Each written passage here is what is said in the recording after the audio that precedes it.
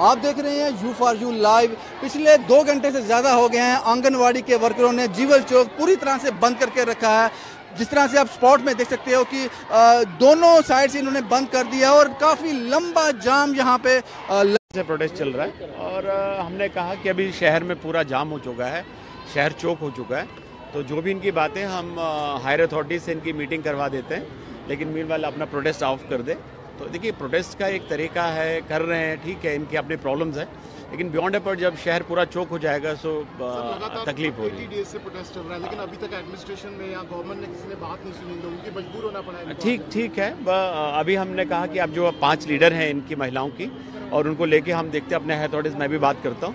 और उनकी मुलाकात करवाते हैं। जो भी इनकी डिमांड है हम गाँव सरकार तक रखते हैं। और मुझे पूरा यकीन है कि सरकार इसको कंसिडरेट व्यू लेगी इस पर उनको सॉल्व करने की कोशिश शहर पूरा बंद हो चुका है ट्रैफ़िक जहाँ हर जगह एग्रीड कन्विंस हो। पाए इस पे आपकी बात नहीं कह रहे कह रहे they have agreed let's see I think they are calling off their protest मुझे लगता है कि कॉल ऑफ़ कर रहे हैं। अब जा रहे हैं, देख लीजिए जा रहे थैंक यू ये थे एडीसी मनहाज साहब। जिन्होंने कहा कि इन्होंने कोशिश की है कि इनको समझाने की कि पूरा शहर ट्रैफ़िक जाम हो चुका है। पिछले दो घंटे से लगातार पूरा ट्रैफ़िक चौक है। विक्रम चौक की बात की जाए, सतवारी की बात की जाए, एशिया होटल की बात की जाए, हर जगह पे ट्रैफ़िक जाम देखने को मिल रहा है, क्योंकि पिछले डेढ़ से दो घंटे से लगातार आंगनबाड़ी के वर्करों ने रोड बंद करके रखी है। और इनका एक सुबह से मैंने रिपोर्ट में बताया कि इन्होंने पहले साफ़ किया था, दरबार मूव होने से पहले पहले ये एक विरोध प्रदर्शन करना चाहती हैं, एक दर्ज करना चाहती हैं स्ट्रॉन्ग विरोध प्रदर्शन जो सरकार के कानों तक इनकी आवाज़ पहुँचे, क्योंकि पिछले 80 दिन से लगातार ये प्रदर्शन कर रही हैं, लेकिन सरकार की तरफ़ से, इनकी तरफ़, इनके पास कोई नहीं आया, और आज तस्वीरों में देख सकते हो कि हालात इतने ख़राब हो चुके थे ट्रैफ़िक इतना जाम हो चुका था, पूरा शहर चौक हो गया था, उसके बाद ये वाटर कैनन वरुण यहाँ मंगवाया गया जे के पुलिस के द्वारा, कि अगर अभी भी इनका प्रोटेस्ट ख़त्म नहीं होता तो इस वाटर कैनन का इस्तेमाल किया जाता। लेकिन एडीसी मनहाज साहब मौके पे पहुँचे, उन्होंने इनके लीडर से बात की और इनको आश्वासन दिलाया कि आप अपने लीडर्स को लेकर हमारे साथ आएँ, हम उनसे बात करेंगे।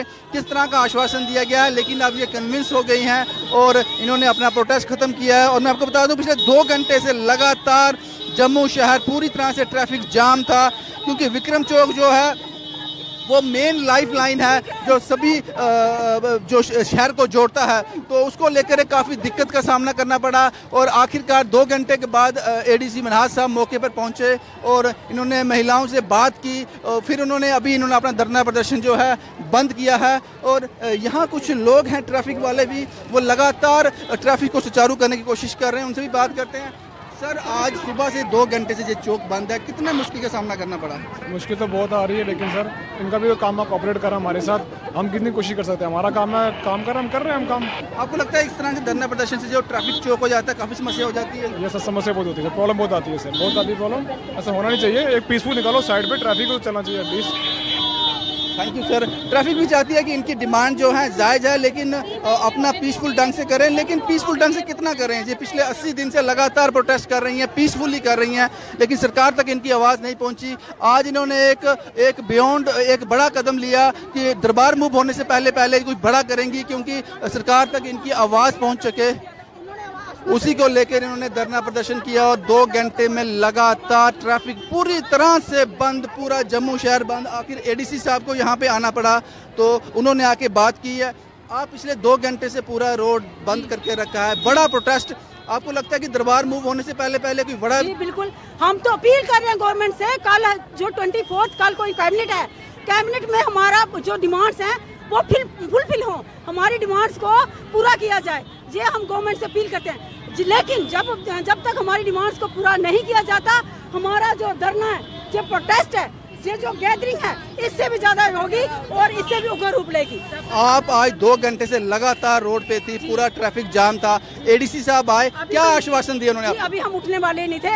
अभी जो डीसी सर आए उन्होंने बोला आओ हमारे साथ जो आपके चार पाँच रिप्रेजेंटेटिव है मेरे से बात करो। अभी हम उनसे बात करने जा रहे हैं। आगे देखते हैं उनका क्या रिस्पॉन्स मिलता है। अगर उनका पॉजिटिव रिस्पॉन्स हुआ तो हम अपना धरना उठा देंगे अपना प्रोटेस्ट खत्म कर देंगे। अगर नहीं हुआ तो इससे भी उग्र रूप में हमारा धरना ज़्यादा होगा। ये थे आंगनबाड़ी के वर्कर जिन्होंने साफ़ किया है कि हम पिछले 80 दिन से लगातार प्रोटेस्ट कर रहे हैं और पीसफुल प्रोटेस्ट कर रहे हैं। किसी को दिक्कत नहीं थी हमारे पास से, लेकिन सरकार के कान तक हमारी आवाज़ नहीं पहुँची। तो आज हमें इस तरह का कदम उठाने पड़े और ये जीवल चौक की तस्वीरें हैं। पूरी तरह से रोड बंद था एडीसी साहब आए, उसके बाद इनको आश्वासन दिया गया। अभी ये बाद की तस्वीरें हैं। आप देख सकते हैं कि अभी भी जाम लगा हुआ है, गाड़ियाँ निकल रही हैं। दो घंटे का ये, जो स्टक था, उसके बाद ये सारा जाम खुला है और तस्वीरों में आप देख सकते हो कि गाड़ियाँ भी चल रही हैं। ये वरुण, ये वाटर कैनन जो गाड़ी है पुलिस की, ये यहाँ मंगवाई गई थी। अगर ये आईडीसी साहब के द्वारा भी कन्विंस नहीं होती ये महिलाएँ आंगनबाड़ी की वर्कर तो इसका इस्तेमाल किया जाता।